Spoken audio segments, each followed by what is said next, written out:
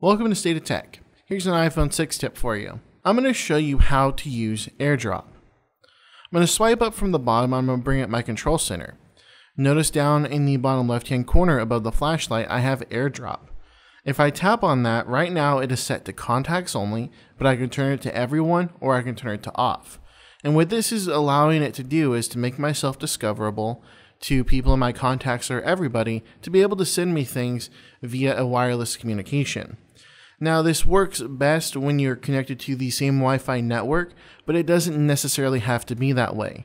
If you're out and about, say at a restaurant, and you have no Wi Fi connection, you can still use AirDrop. The only thing that you need to make sure is that Wi Fi and Bluetooth are always on.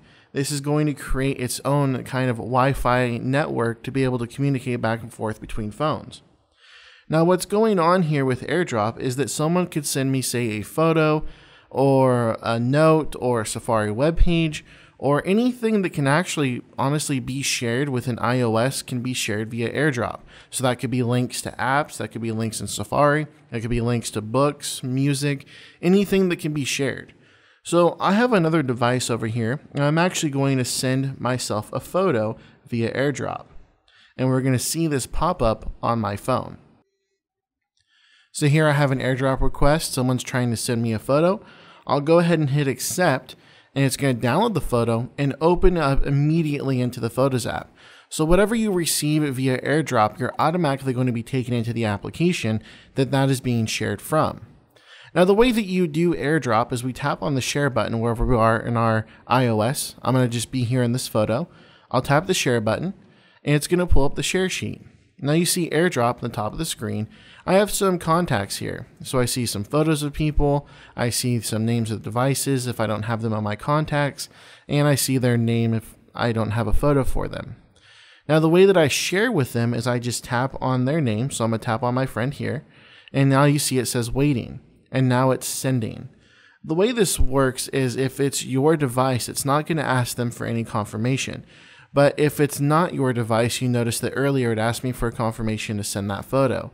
So once they approve the confirmation, it'll send them whatever we were sending them in AirDrop, and then they're going to be able to view that right there on their device.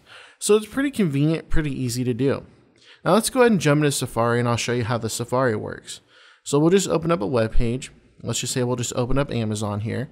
And once it loads in, I like this web page. I like this option here. I'm going to tap the share button and notice the airdrop is right there at the top. So now if I were to send this to my friend here, we'll tap and it's waiting for his response and it's been sent and it's going to open up the actual Amazon web link on his device. Now the same thing can happen to us. Say if someone else were on their Safari and we're just going to have them navigate to a web page, they'll share it to us. And notice on my device it now says they would like to share the website. We'll tap accept and it's going to open up Safari and take us to the web page that they were sharing. So that is how AirDrop works on the iPhone. And for more iPhone tips, be sure and visit stateoftech.net.